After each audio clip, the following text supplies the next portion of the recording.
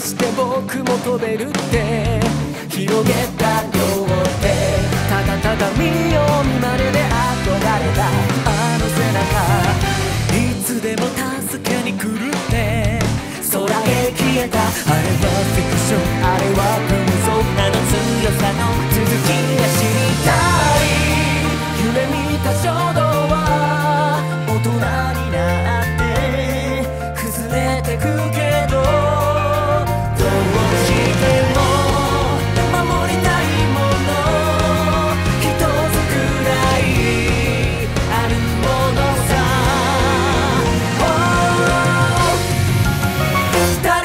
みんなヒーローなんだ世界に主人公は一人じゃない悲しみから君を連れ出すのが僕でもいいだろう涙の時にはすぐに駆けつけて超人的な才能より呼ばれてへし絶対かしい君の話を聞かせてよ。